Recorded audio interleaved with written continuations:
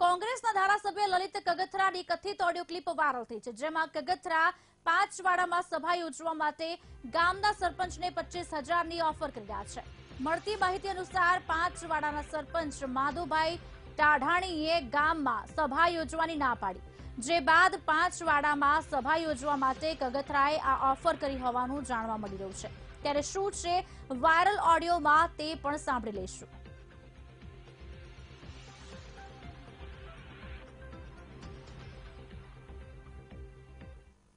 બોલો લલિત કાકા. કાકાનો ફોન તો ઉપર પણ ઓલા બે બધા બેઠા હતા એવું હતું. અમે ગજુ કાકા રાહ જોઈ છે કઈ આવશે હું નથી આવતો સાંભળો તમે ભાંચવડા બીજું ગમે ને કાકા જરૂર હોય ને એને આપો.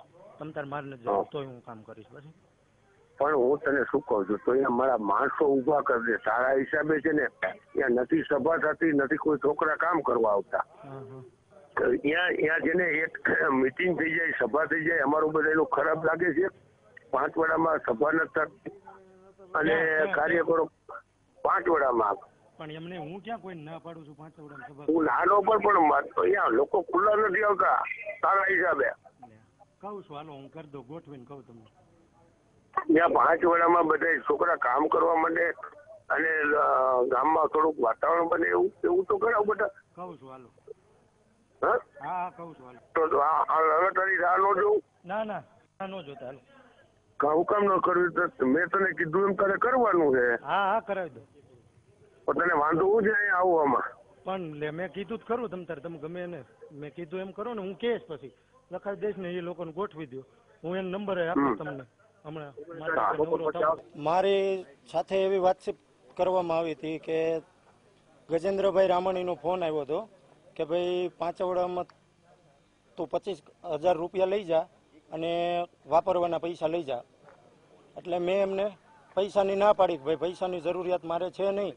એટલે ત્યારબાદ તે પછી મને અંદાજે ચારક વાગે લલિતભાઈ કગથરાનો ફોન આવ્યો કે ભાઈ તું ક્યાં છો? એટલે મેં કીધું પાંચવડા છું. એટલે કે તું મને અહીંયા આદિત્યમાં મળવા આવી જા. એટલે મેં એને સ્પષ્ટ ના પાડી ભાઈ મારે કોઈ મળવા આવવું નથી, તો એણે મને એવું કીધું કે, શું કામ તારે મળવા નથી આવવું એટલે મેં એવું કીધું કે, ભાઈ, મારે પૈસા જોતા નથી, તમારા કોઈ કાર્યકર્તા હોય, એમને પૈસા આપો, નાના કાર્યકર્તા હશે, એમને પૈસાની જરૂરિયાત હશે, મારે કોઈ એવી પૈસાની જરૂરિયાત છે નહીં. એ હું ઓડિયો ક્લિપમાં પણ સ્પષ્ટપણે કહું છું. તો એણે એવું મને કીધું કે, તારા હિસાબે કોઈ કોંગ્રેસના કાર્યકર્તા અમારા ત્યાં છે નહીં, તું મને કાર્યકર્તા પાંચવડાની અંદર ઊભા કરી દે. એટલે મેં એવું કીધું કે, ભાઈ, કાંઈ નહીં, હું કોઈક છોકરાઓને કહીશ તમારું કામ કરશે. જો મેં ક્યાંય પૈસાની વાત કરી નથી, મેં એને ખાલી એમ કીધું છે કે તું અહીંયા આવી જા, આપણે મળી લઈ વાત કરી લઈ, કારણ કે આ ભાઈ મધુ છે ને એ પેલા દસ દિવસ મારી સાથે હતો અને પછી એ એનું સ્ટેન્ડ ક્લિયર નહોતું. એ ભાજપમાં કામ કરે છે કે કોંગ્રેસમાં? એટલે મેં એને એમ કીધું કે આપણે મળી લઈ. તારે શું કામગીરી કરવાની છે? બાકીના અહીંયા છોકરાઓ તૈયાર કર, તારે ભાજપમાં જવું હોય તો અમે અહીંયા ગોઠવવા માંડી. અને બાકીના છોકરાઓ તું મને આપ. આવી મારે સો ટકા એની વાત થઈ છે. આમાં કોઈ મારો મારા મોઢામાંથી કોઈ પૈસાની બાબતની કોઈ વાત નીકળી નથી.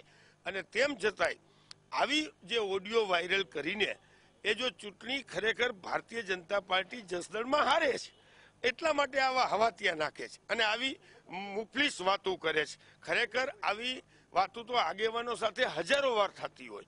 અમે આવ ભાઈ તું કઈ ગોઠવી દે અહીંયા આમ તું કર, તે કર, એનાથી એનો મતલબ એવો નથી કે આનાથી કઈ અમે એને લાલચ આપી.